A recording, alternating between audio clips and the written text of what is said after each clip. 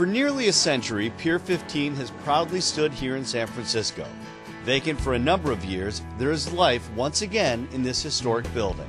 Once completed, the new Exploratorium will be one of the largest net zero energy and net zero carbon buildings in the world. The massive construction project yields about 330,000 square feet of indoor and outdoor space.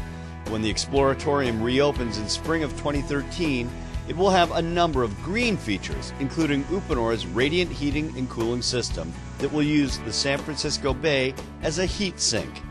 This will save about 2 million gallons of water annually, helping the project reach LEED Gold certification.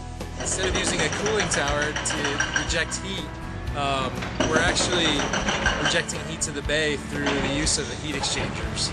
So we pull water, pump water out of the bay through a series of mechanical equipment, including a heat exchanger, and then we pump it back to the bay. There's no chemicals used. Eight 50 ton water to water heat pumps will be responsible for adjusting the water temperature. These electric chiller heaters feed a four pipe system that carries hot and chilled water to a 200,000 foot network of cross linked Uponor PEX-A tubing. The tubing is embedded in concrete slabs on two levels and spanning 82 heating and cooling zones, each zone with its own control valve and thermostat. It's a really comfortable system, and there's a desire to, to not sacrifice comfort for energy on this project.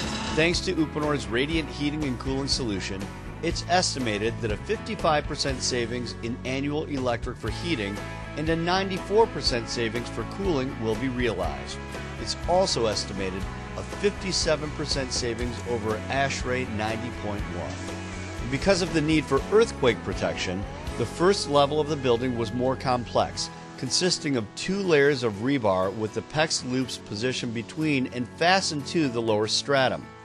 The tubing sits 3 to 3.5 inches beneath the surface to avoid being punctured by anchors securing the museum's exhibits.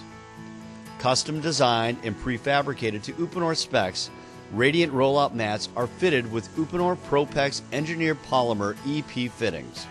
The mats roll out like carpeting over the floor space, requiring fewer ties to secure their position. Radiant rollout mats can install approximately 85% faster than conventional radiant tubing methods. Over half a million people will visit the Exploratorium every year and they'll get to see the principles of green design in practice. And I think it, you know, will be a very long-lasting example of how to do green design.